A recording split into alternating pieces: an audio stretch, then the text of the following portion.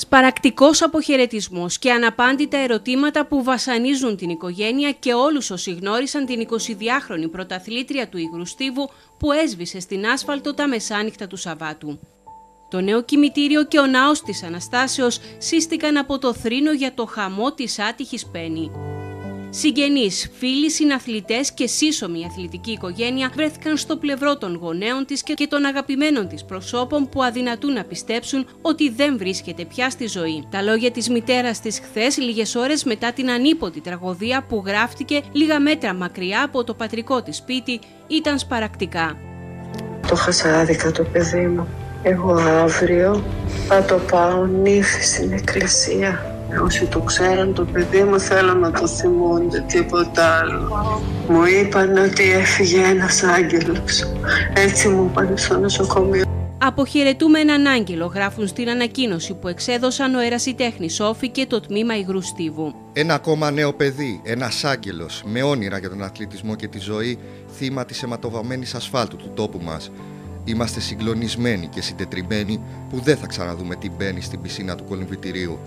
Το χαμόγελό της και η προσωπικότητά της θα είναι πάντα εκεί. Η 22χρονη αθλήτρια συγχρονισμένης κολύμβησης με διακρίσεις στην Ελλάδα και διεθνείς διοργανώσεις εργαζόταν και ως βοηθός προπονητής στο τμήμα συγχρονισμένης κολύμβησης του ΚΟΗ. Η διοίκηση του ομίλου αποχαιρέτησε με συντριβή την άτυχη κοπέλα. Είμαστε συγκλονισμένοι από την είδηση του ξαφνικού χαμού της αγαπημένης μας Πέννη. Η Πέννη, γέννημα φρέμα του ΚΟΗ, ήταν ιδιαίτερα αγαπητή στην πισίνα του Ηρακλείου, τόσο σαν αθλήτρια, όσο και σαν βοηθός προπονήτρια στην Ακαδημία Καλλιτεχνικής Κολύμβησης του Κολυμβητικού Ομίλου. Θα θυμόμαστε πάντα αυτό το λαμπερό χαμόγελο, την ευγένειά της, την καλοσύνη της, την αφοσίωσή της και την καλλιτεχνική κολύμβηση για τον Μπόι που τόσο αγαπούσε. Αυτή τη δύσκολη στιγμή η σκέψη μας είναι μαζί με την οικογένειά της.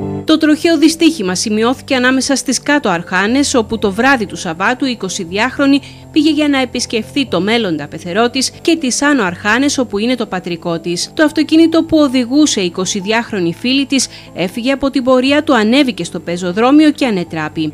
Σύγκρουση που γίνει φαίνεται αστεία, αλλά είχε άσχημες συνεπείς είναι λυπηρό για νέους ανθρώπους. Το κεφάλι της άτυχης αθλήτριας, η οποία δεν φορούσε ζώνη, βγήκε από το παράθυρο και χτύπησε στον κορμό ενός δέντρου με μοιραίες και τραγικές συνέπειες.